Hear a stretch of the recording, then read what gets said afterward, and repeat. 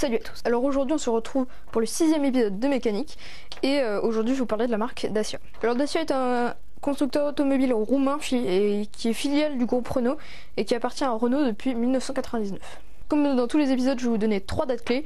Euh, donc 1968 euh, la Dacia 1100 donc c'est une réplique de la, de la Renault R8. 1975 la D6 produit à 642 exemplaires c'est une réplique de la Renault Estafette et en 1969 la 1300 qui est une réplique de la Renault 12. Alors le premier modèle est, la Dacia 1100 dont je viens de vous parler et le dernier euh, c'est la Dacia Docker qui est assez moche personnellement. Alors le concept car de la marque c'est le concept car Duster. D'ailleurs c'est tout pourri comme nom. Alors je vais vous donner tous les modèles Dacia euh, conçus par Renault. Euh, donc il y a la Sandero, la Logan, le Duster, le Logi et le Decker. Et voilà les amis, c'est fini pour cette vidéo. J'espère que ça vous a plu, même si elle n'a pas duré très longtemps.